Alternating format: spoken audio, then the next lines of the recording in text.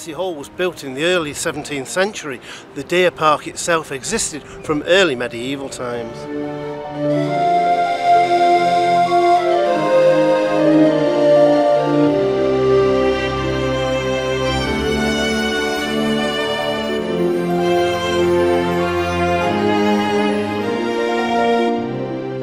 So important was this settlement that it even got a mention in the Anglo-Saxon Chronicles.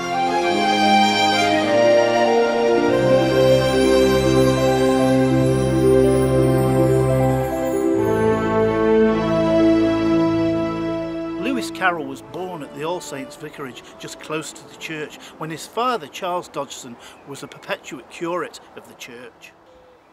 We're here in the churchyard where we find the 16th century stone font, a font that has seen many baptisms, including that of Lewis Carroll himself.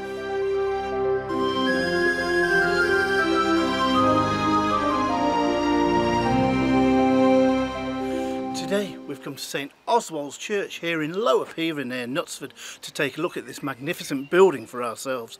Welcome to History Walks. Whilst the church that stands here today was built in 1872, it stands on the grounds of an earlier structure built in the 12th century as a chapel, a daughter chapel to the nearby Norton Priory.